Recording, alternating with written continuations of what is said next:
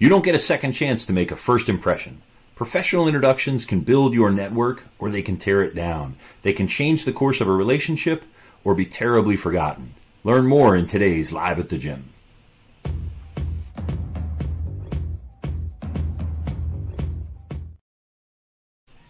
Hi, I'm Dale Fallon, and welcome to the first Live at the Gym for 2022. This is where we work out our communication muscles so that we can improve the quality of our conversation. And before we meet today's guests, let me share two dictionary definitions with you. Merriam Webster says that the definition of introduce is to make known by formal act or to cause to be acquainted. And the definition of heralding is to announce, to greet with enthusiasm, to publicize, or to signal the approach of. Now, which of these sounds better to you? Would you rather be introduced or would you rather be heralded? We all know that a flat introduction will hinder good conversation. And whether you have introduced 200 people in the last week or two people in the last 10 years, we can help you to improve those introductions. In today's Live at the Gym, we will show you how to turn your boring introductions into exciting heralds. So before we bring our guests in, let's talk about what a herald is. The quick definition. It really is, for the communication gym, a simple framework that builds credibility, common ground, and connection. These are the three simple components that anyone can use to make an effective herald. What do we mean by credibility? It is the demonstration of expertise. We want you to share some expertise or something that brings credibility to the table of the, per- the person that you're introducing. Common ground, things that they have in common. This is what people traditionally think of in common ground. Do they play golf? Did they go to the same school? Do they support the same sports team? And connection. Why are you introducing them? There's a reason you're introducing, and it might be as simple as, hey, I think you guys would get along great and make good friends, or this is an accountant and you're a business owner and I know you need an accountant. So be specific about why you're making that introduction. So, with that being said, it's a pretty straightforward process. Why don't we bring in today's guest? I want to welcome Daryl Staley and Nathan Imboden.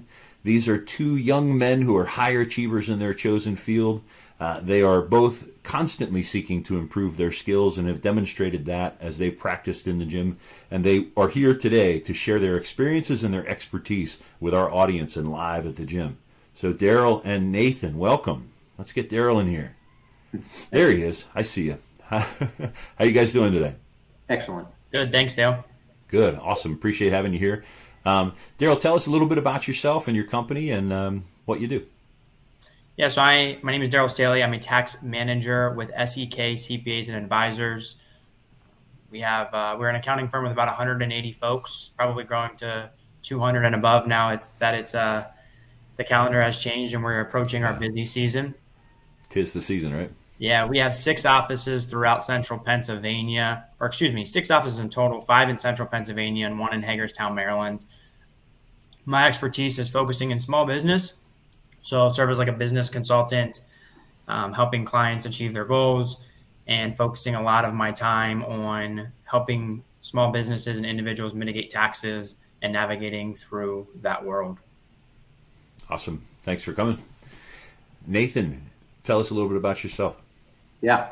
So I am the uh, president of an organization called Questmont. We are a um, high-end wealth management and boutique virtual family office uh, that has offices in central Pennsylvania, here in Camp Hill, and down in Tampa, Florida. Uh, we are an 18 person uh, practice right now, uh, grown from seven in 2018 to uh, 18 today, and hopefully strategically a little bit more. our firm traditionally has provided wealth management services, so retirement planning, tax planning, estate planning, and whatnot to um, individuals, but uh, increasingly, our specialization is, is focused more on business owners and helping to prepare for an eventual exit and succession strategies, uh, helping to build a more efficient business and then exit it on their terms. Awesome, important important for business owners, right? Both of you are mm-hmm. important uh, roles in the business owner community, and and uh, and and it's great to have you here. One of the main reasons I have you here is because uh, my perception is that you're both pretty good networkers, and you do a lot of networking. You're out and about in your communities and connecting people in a lot of uh, different circumstances. So um, I thought we'd have a quick conversation about how you've used heralding. Daryl, it's, it's newer to you than it is to Nathan. So uh, you've you've uh, been starting to introduce it in your world. Tell us a little bit about how how you've used it and what impact you've seen. Yeah, I use heralding, uh, you know, a lot, um, especially recently. Um, we, for many reasons, uh, there's opportunities for me to refer my clients to to folks in other industries who they may need. They may need that area of expertise. Um, I can even herald individuals within my firm. So there's things outside of what I can provide for my business clients or individual clients, but someone in our in our office or somewhere in the SEK can um, can better assist them. So I'm able to make those introductions, uh, herald again those referral sources or other people within the firm. I also am heralding with my clients when I'm introducing them to team members of mine who will be assisting them along the way. And uh, you know, even as so, it's not it's there in the business world. Um, it's also outside of that you know, using heralding as an opportunity to connect good people, um, you know, for whatever reason that may be, yeah. might be friends, um, family, to you know people that I've had success with, um, you know, using as a contractor or you know for any other reason. But it, it's helped me both professionally and personally. Yeah, great. It's just that difference between kind of a neutral, hey, my name is Daryl, Daryl, this is Nathan, Nathan, this is Daryl, and something that goes above and beyond and, and, starts you off on a better foot. Nathan, you're you're an old school TCG guy, so how how have you been incorporating it? Yeah, well, I'll kind of start with, and it's probably an experience we've all gone through, but hearing from a contact of ours, oh, I told you, or I told so and so about you, or I gave so and so your business card, and you never hear from those people because they don't know how to properly do it. And you realize uh, how ineffective those um, methods are until you start flipping the script yourself. So, uh, for me, I think a lot of it really boils down to trust in the existing relationship that you have with the person that you are trying to um, herald somebody uh, for.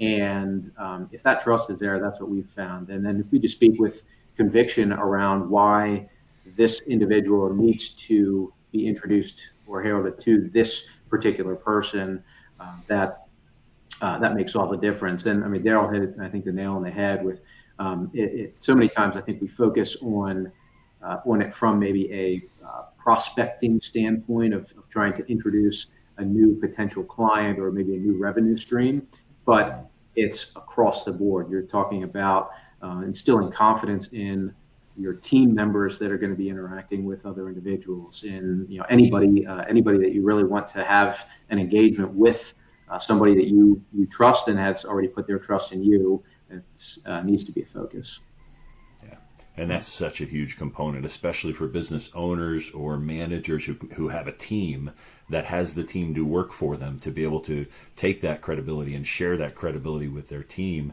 Because oftentimes our team members are better at, at uh, things that, ideally they are better at things than we are. And you want to take that credibility that you've earned with the client or the prospect and say look i'm going to hand you off to nathan here because nathan's better at this than i am and i want you to take that credibility and, and move it forward. And it changes the dynamic when things begin and if I can add to that, Dale, and just quickly. So as I morphed, you know, I, I went from a role where I was the primary or sole person that was responsible for most of the stuff that was happening to now the team of people underneath me. So I had to learn to do that well to be able to instill the confidence in not just my team members, but the fact that more more you know faces and more individuals were at, at play in the relationship. Yeah, that's such an important point uh, for for team leaders and business owners because often the entrepreneur is the one that carries the load, but they've got to be able to build that team around them. And any person who wants to grow a team needs to understand how to do this as a skill set. Um, so we're, we're going to get the boot here. It's time for workout, fellas. Time to put your sweatbands on. All right. So what we've done now, Daryl and Nathan have not met each other before. This is their first time to connect, and, and, we're gonna we're gonna put you to task a little bit here, maybe make you sweat a little bit. We've given them a little bit of information about each other, and we're gonna ask them to herald each other to me. So I am the business owner. I own a multi-million dollar business, and let's put it in Central PA, so it's geographically located for both of you.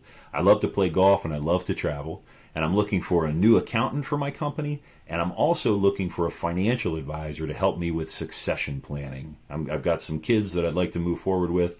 Um, so let's start. Daryl, we're going to give you again. We've given you some general information. We're going to have you introduce. You're going to have you herald me or herald Nathan to me as the business owner as a potential prospect. All right. Hey, Dale, as we spoke before, I know you're looking for someone who can help you in your business with succession planning. You know, I can only do so much. Um, but because of that, I want to introduce you to Nathan Imboden, who is a good friend of mine, and I think he will serve you well in helping you accomplish those goals. Nathan is a graduate from Messiah College, where he uh, received his bachelor's in business administration with a finance concentration. From there, he's gone on to become the president of Questmont, Pens- Questmont in Pennsylvania. Um, so, and I know he's located in central Pennsylvania and serves a lot of clients such as similar to you in the area. So not too far away, which is always good. Like you, I know he loves the golf. Um, I'm sure you guys can uh, get out there and play around. They say a lot of business is conducted on the golf course. And I'm sure Nathan will have no problem, um, you know, trying to win win you over with a round of golf. as long as he doesn't win me on the round on the round itself, there, I'll take it. Can't promise that, Dale. that said, I know Nathan is also very involved with his local church. You know, loves to give back and, and participate in the community in which he serves.